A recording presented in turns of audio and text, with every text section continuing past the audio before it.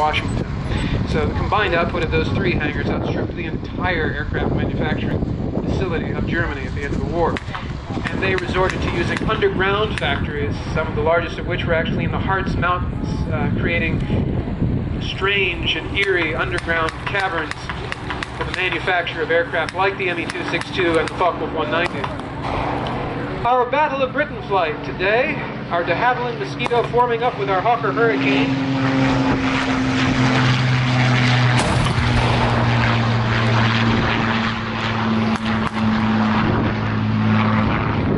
Keep those Germans down.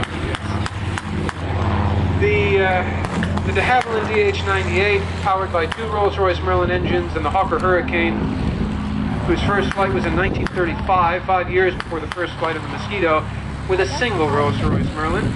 The exhaust was so powerful on the Supermarine Spitfire that by changing the angle of the exhaust, not